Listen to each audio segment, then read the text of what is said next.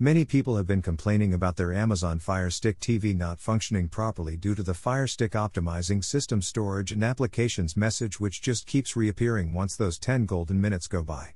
So, today we are going to explain to you how you can fix that pretty quickly and easily. Number 1. Get the OEM, original equipment manufacturer power cord.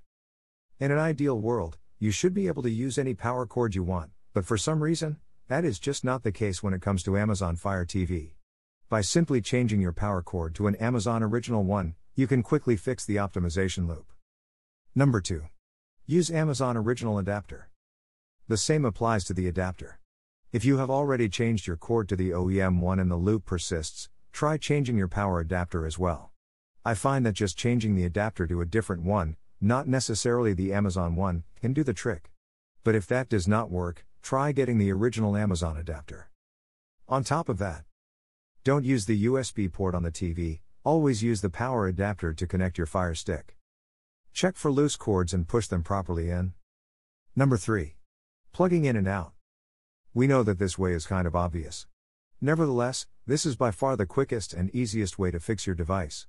If it works, you are lucky, if not, please continue reading, we have other tricks for you to try. Unplug your Fire Stick from the HDMI port and remove the USB cable. Turn the TV off, unplug it from the wall. Wait for about 5 minutes. Plug everything back in. Follow the usual optimization process. Number 4. Avoid power strip. Insufficient power can be a culprit as well. If your power strip is overcrowded by multiple different devices, it makes sense to try and connect your adapter straight to the wall to get more power, so your device has enough power running through. That should definitely work combined with the previous steps. Number 5. Try a different HDMI port. The faulty HDMI port can possibly be an issue in this situation, so the next step in fixing your Fire Stick optimization loop should definitely be the following.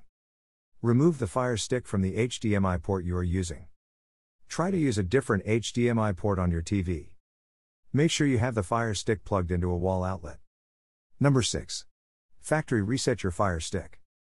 If you reach this point on our list, that means things aren't going too well, and it is time to take tougher measures.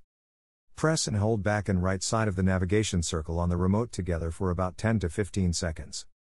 On your TV screen, choose Continue or Cancel the factory reset. If you don't choose, the device will reset automatically after a few seconds. If you have any other questions regarding this topic, we have a detailed article on our blog. You can find the link to it under the video. Thank you so much for watching.